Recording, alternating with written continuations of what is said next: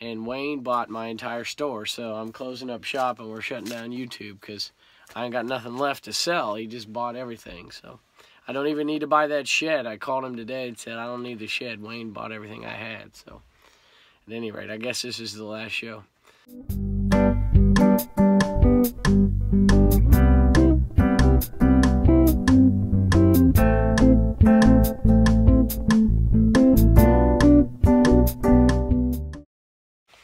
Everybody, welcome back to Commonwealth Picker. My name is Kevin and we're in the eBay cave and my voice is just about back. Thank goodness. So I hope we I hope you guys enjoyed the video yesterday. We are going to do a sheet like we did for the happy little accident on how much money we're going to make off of that particular sale. And I got to tell you, I almost didn't go to that sale. If you haven't seen the video yet, you got to go back and take a look. I almost didn't go to that sale. I was tired. It was a long week. It was a Saturday. I was starting to get sick. And I had already talked to a few people who had gone to that sale and they were resellers. And I'm like, well, maybe I shouldn't go there.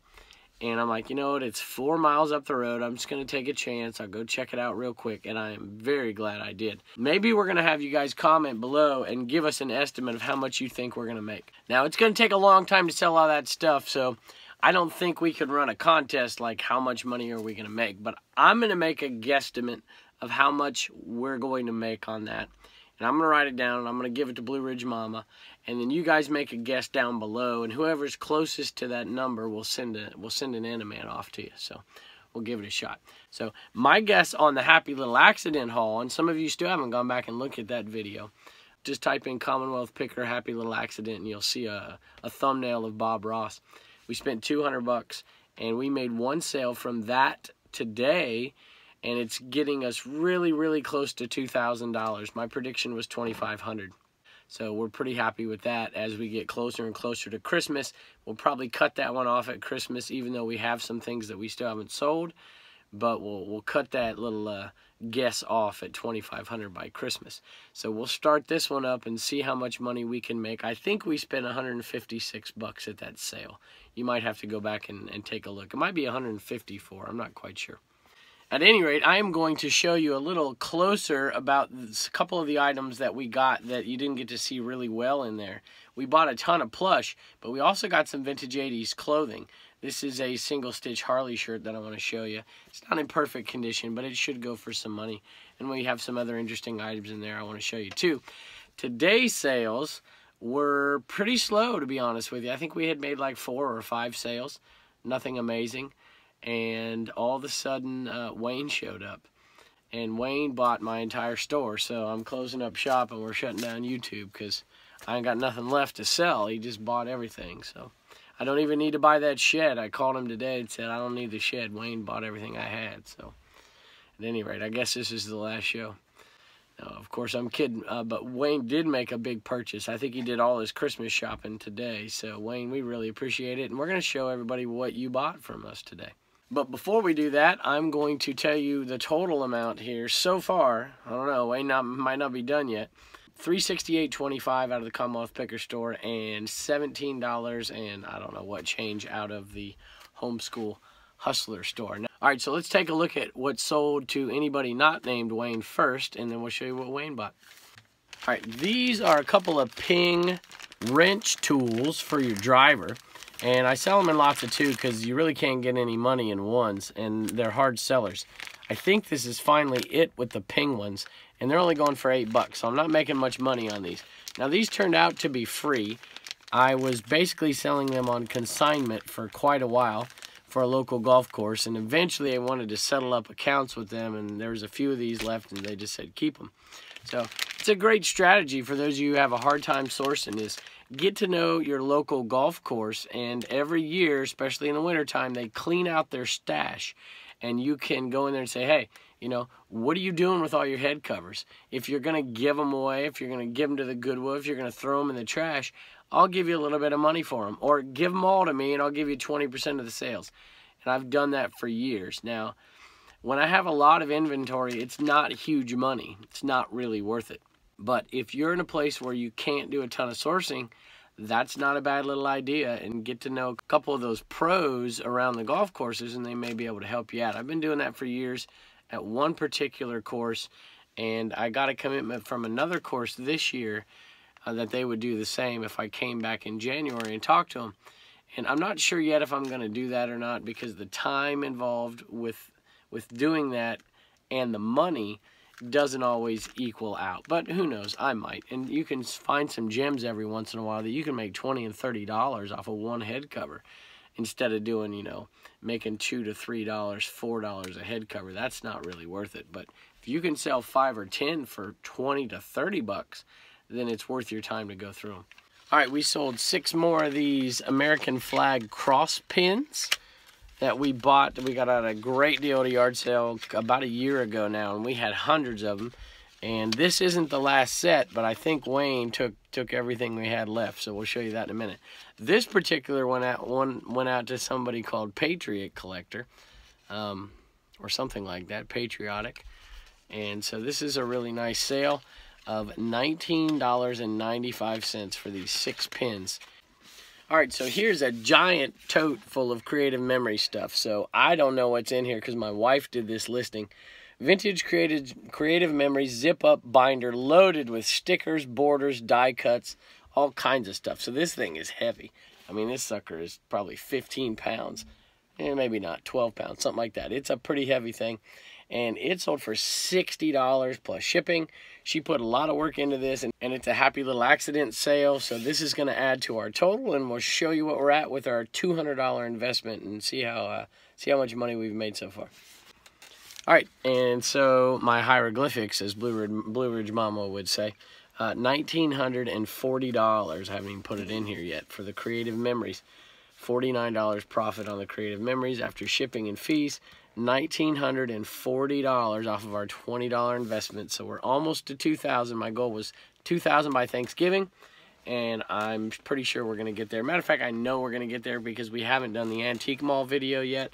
And we've probably sold, maybe not $60, but we've probably sold 40 to $50 worth of happy little accident sales out of the Antique Malls. All right, this is a History Channel DVD lot. There's four DVDs, all brand new in the package. Actually, I take it back. Three are brand new in the package. And this came from that yard sale where we bought that whole lot of DVDs, 96 of them for 20 bucks. And so this sold for 24.71. We're getting really close after fees and after shipping to making that $20 back just in this lot. And we've already sold two or three of these lots. We've sold some of those DVDs at the booth already. We've sold a couple of new ones, uh, Family Ties sold. So we're already well into the profit. My initial estimate of $150 profit off of those DVDs is probably a little low. We're probably going to make closer to 200. They're selling really well. All right, so this is what Wayne bought. So Wayne's been sending me messages, and he bought some cassettes not too long ago. And he said, hey, you got anything else? And he gave me some ideas of the things he might like. So I started looking through what I had. I went to Bell Treasures, one of the antique booths, and I started pulling some things that he might like. Took some pictures of them and asked him what he wanted, and he picked quite a few. And we made one giant lot, and we made him a pretty good deal on all these cassettes. So just to give you an idea, I ended up, I got to tell you, I set these on top because these are from my personal collection, Wayne. So I listen to cassettes all the time in here. And this is one I listen to often. This is not one I listen to often, but I listen to it at Christmas because it reminds me of my mom. She used to listen to this all the time. So, uh, Commonwealth Grammy, if you're out there, you probably know sitting in that van listening to this thing. We did that quite a bit. So, I like to listen to it at Christmas just for nostalgia's sake. The Beach Boys I like just because I'm from California and it's just a kind of good memories. Uh, the Carpenters, same thing. I listen to them pretty often just because of my mom, of course. And they got some good stuff. Uh, Little Simon and Garfunkel, I listen to that every once in a while. Bridge Over Troubled Waters, that's probably one of my favorites. Homeward Bound is pretty good. Mrs. Robinson, of course. So Those were out of my personal collection, Wayne. I don't know. I don't think I told you that, but I pulled them out. When you said the Carpenters, I'm like, well, I know I got those. I tell you what, I had a hard time parting I had a hard time parting with this one, and I had a hard time parting with this one. But you know what? all that means is that I got to go back out there on the trail, and I'm sure I'll find them.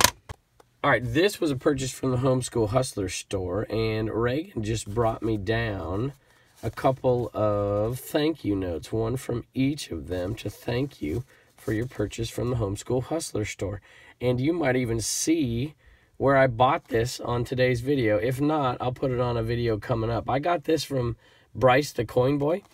Um, I think uh, I can't remember. We made a big a big sale with him. We bought a few things off of him. Told him we'd resell them. And this is getting a little bit of our money back already. I think it's a neat one. And we're going to send that off to you.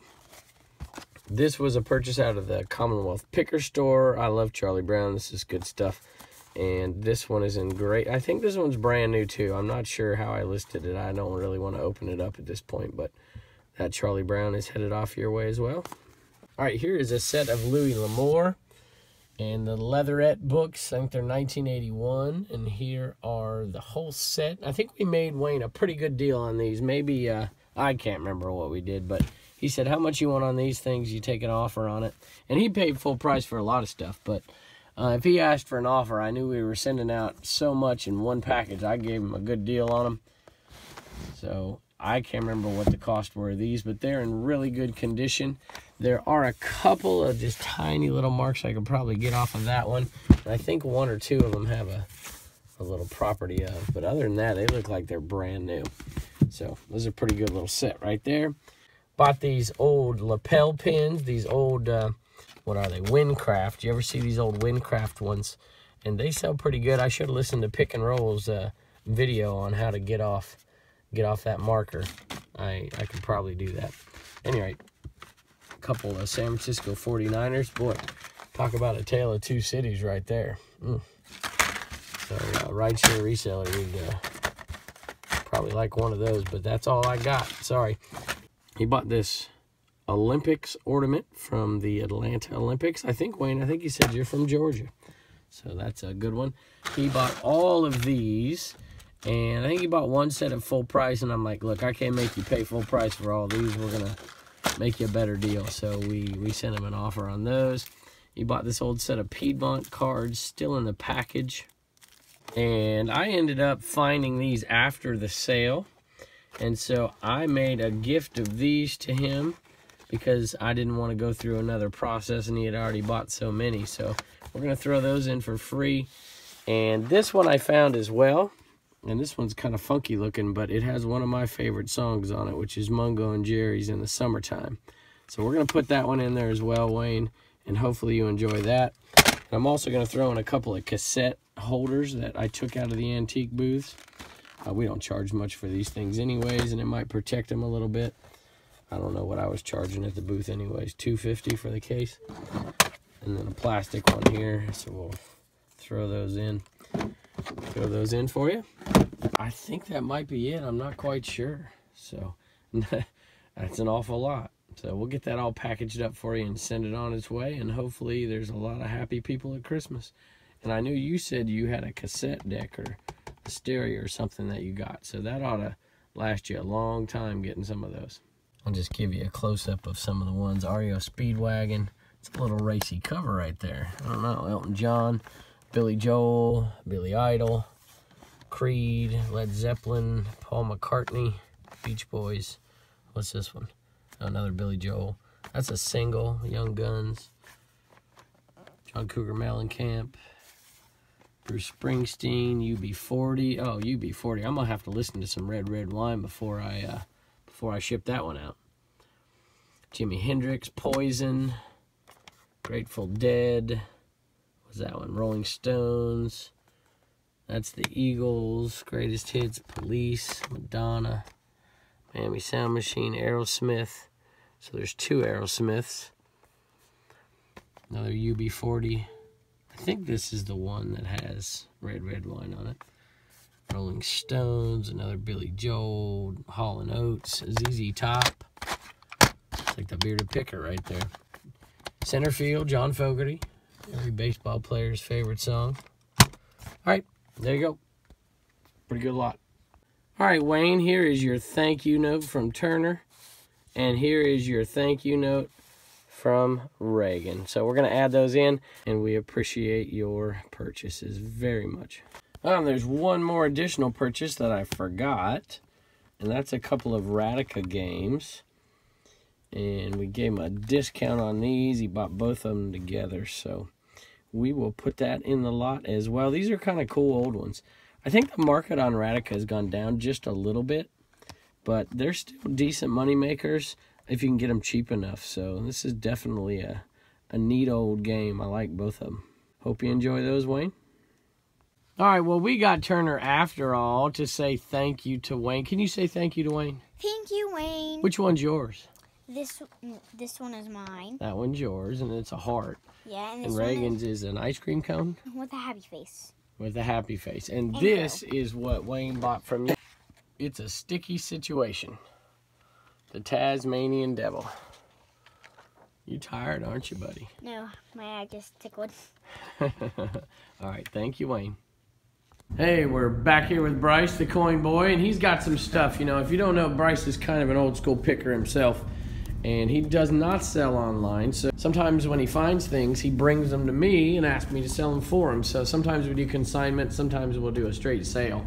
I think we're doing a sale on this one. I think we are too. Um, and then if it happens that we make a little bit more money than expected, we'll give him a little bit more. So let me talk about these real quick, and then I'm going to have him talk about these boots because they have an interesting story.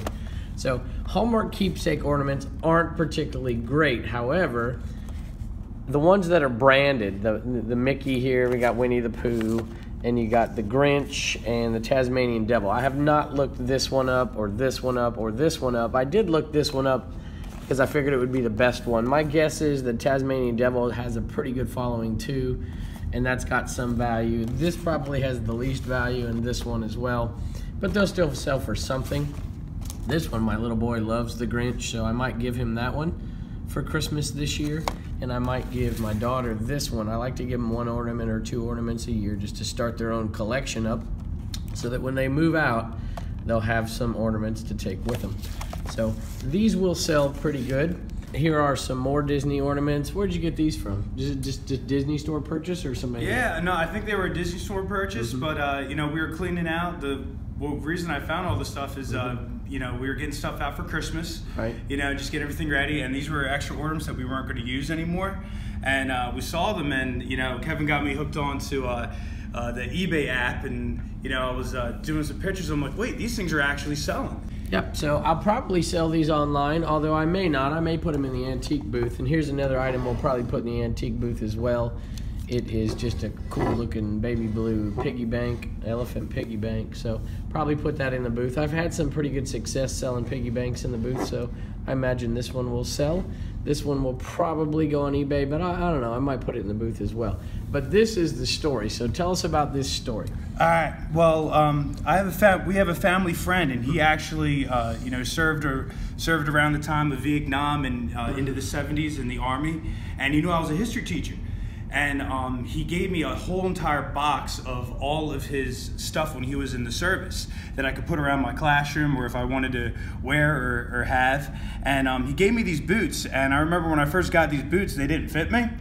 So uh, I'm a size 10; these are a size 11 and I, you know, had them in storage, and then I completely forgot about them. Well, I, you know, stumbled upon them a few days ago, and um, I knew that they were actually war issued, and um, and well, sir, not war issued, but Army issued, and uh, I wanted to look at them, and I found out that hey, they're actually selling on eBay for pretty well. So I got uh, a hold of Kevin, and then we did some little more research to see what we could do to actually authenticate them that they are real. Yeah, I initially saw them, and I'm like, hey, where there are no markings. I was looking on the inside, I was looking on the bottom, and uh, Bryce found it here on the top, which I can't believe I missed, but at any rate, we did find some markings, and that was uh, kind of led us down the road that we're on. So tell me what the markings mean. Well, the markings, I know what majority of them mean. Uh, the 11 right there, that means that's what size boot it is. Yep, yep. The W means wide. Yep. That's for wide foot. Um, this, we'll get back to in a little bit. I'm still, I still don't 100% know what it means, but I have some thoughts of okay. what it may be. And I bet somebody out there will be able to tell us. These were made in, uh, you know, September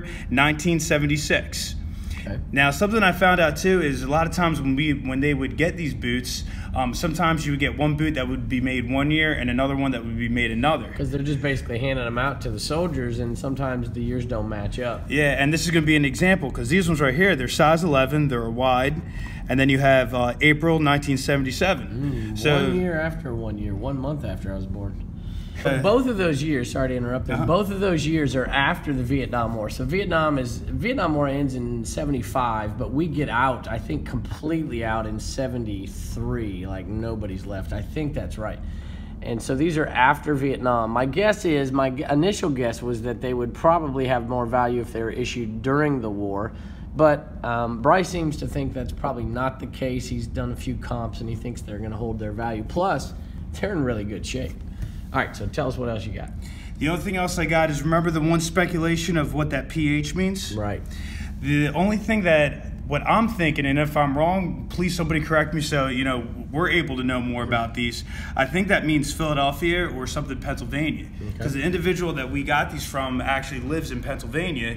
And when I was looking online, uh, especially with a lot of these things, it's everything would be the same except for where that is. Mm-hmm. And some had like a T in it, others had like other different letters. Said an AZ in one of them, which you Yeah. think Arizona, but you know. Yeah, something heck like that. So I'm thinking maybe that means that's where you know what military base they're getting it from. But if I'm completely wrong, yo, please please correct us That'd and let us interesting to find out. I'd be curious, and I do see, like I said, a lot of them listed as you know Vietnam era war boots, but this is the same style. So we're gonna give those a shot, and we're gonna sell them, see what we can get for them, and see if we can both make some money. So thank you again, Brian. Awesome. Thanks for having me. All right.